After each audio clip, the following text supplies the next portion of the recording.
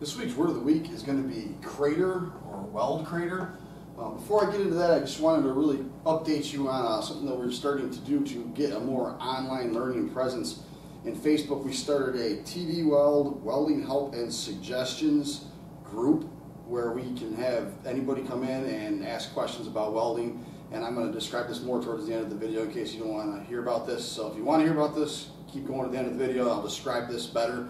Uh, but for right now, we're going to go into what a weld crater is.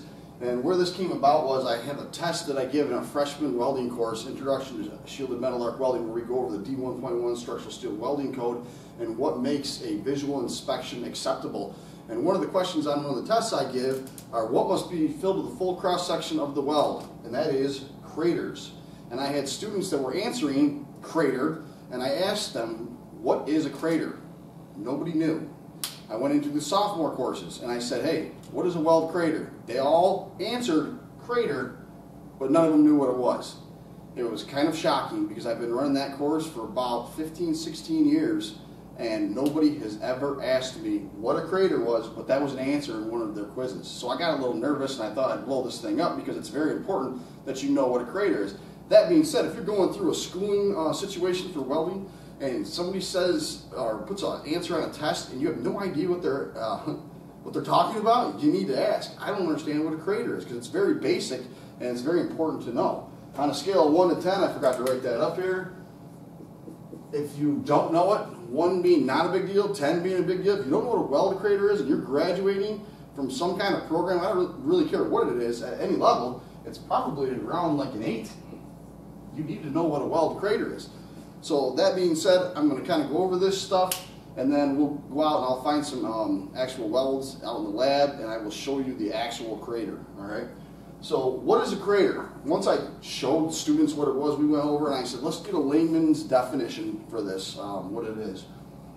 And they basically said, it's the indent at the end of the weld bead. And that's exactly what it is. It's that spot where you stop. It's usually circular or uh, ovalish, and that's the crater, all right? It's where you stop. The reason crater cracking, or sorry, the reason craters are very important is because they're, they're prone to crater cracking. You see down here, crater cracking.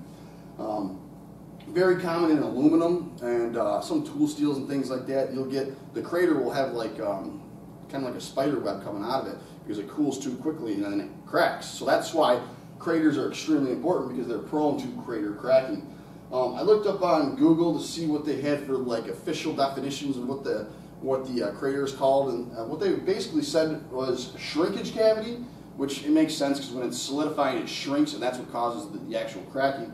But then there's also fisheye, which I've heard a, a, a, bunch of times in the industry, and I kind of forgot about. But yeah, shrinkage cavity, fisheye, crater is the official term, though. All right. So let's get back down to crater cracking. Common in aluminum, I got written over there, which we kind of already went over. And we're going to raise this up here.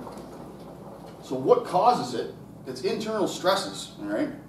So as internal stresses, as this is shrinking, it causes crater cracking. So uh, you got to understand what it is, got to understand what causes it, but you also got to understand how to, how to fix it, right? Now, I wrote down here, defect, full cross section, less than full, all right? If you have a crater that is less than full to the full cross section of the weld, it is considered a rejectable defect. That's what I was talking about with that quiz that I was giving. If it's not filled to the full cross section of the weld, it's a defect. It's rejectable, all right? So how do you do that? You fill it in. That's all it is. So let's get down here to, um, I always write fixes, but how do you fix it? So if you're welding uh, aluminum with TIG, or gas tungsten welding, when I get done with that um, weld, when I get to the crater, I ease up on the pedal very slowly. I don't want it to, to um, cool too quickly because that's what causes it to crack. And I also like swirl it around, ease it up, ease it up, ease it up, extinguish it. Also, you might want to give it another little dab at the end. So ease it up, and then give it some more um, amperage. Put another dab in there to make sure it's filled to the full cross section and it's got enough material to keep it from cracking. Back step, I wrote that.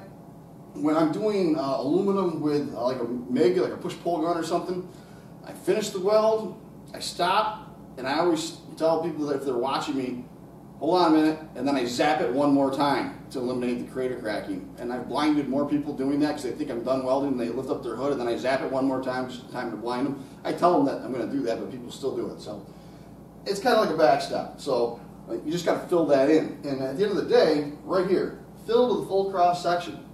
If you do that, you'll probably eliminate um, crater cracking. Uh, just ease up on the pedal if you're TIG welding, and when you get done MIG welding, zap it one more time to make sure that fills up. So what we'll do now is we'll go out and we'll look for some uh, good examples of craters in welds. They don't have to be in aluminum. There's craters in just about every weld there is. At the end, it's that little circle or oval shape, and I'll get some small ones and some big ones, and we'll take a look at them here. So we're going to start with a TIG weld here. It's very small. It's about eighth of an inch. There's the bead, right there at the end, that is the crater. I, I drew an arrow, but I had a Sharpie, so it wasn't very fine tipped. But that, right there, is the crater. You go find one out of aluminum. All right, this is a beautiful example. It's an aluminum, looks like a pulse weld with a MIG gun. That is a rejectable crater right there. See how it's not filled into the full cross section? I'm whoop, sorry about that. I'm going to reject that part if I'm an inspector. All right. It's a beautiful example of a crater that's not acceptable. Now, if they would have hit that with one more little pulse of weld, it'd probably be okay. That's the crater at the very end. I'm going to go look for one on an actual part now. Okay, this is a steel MIG weld. You can see right at the end, there's a crater. It looks kind of rough in the video, but it's actually acceptable. But again, that's the crater right at the end. That's what you need to know is that that is the crater. If you don't know that that's the crater, that's bad. Alright? So I'm to go back up into the classroom, describe our Facebook thing, and then we'll be out of here.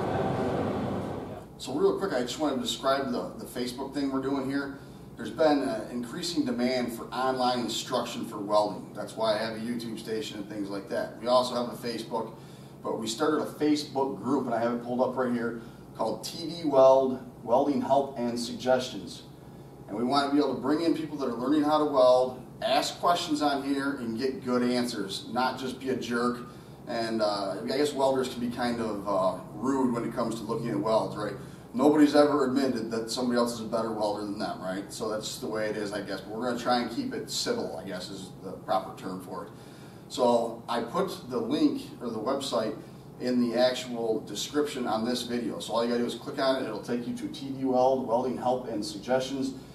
In that group, we're going to have, we have a welding engineer, we have welding inspectors, we have decades of welding experience, fabrication, things like that these people are going to be in this group, all right? So if you have questions on learning how to weld, get into this TV Weld Welding Help and Suggestions group. And if you have questions, I'm on there. I can answer questions, or those other guys can. Um, we have a serious amount of experts that are going to be in this group. So we're trying to make this an online resource for people that are learning how to weld. Again, it's TV Weld, Welding Help and Suggestions, and I hope you uh, go check it out. Um, that's all I got for today. Thanks for watching, subscribing to TV Weld, and uh, we're going to get out of here. Hopefully you know what a crater is.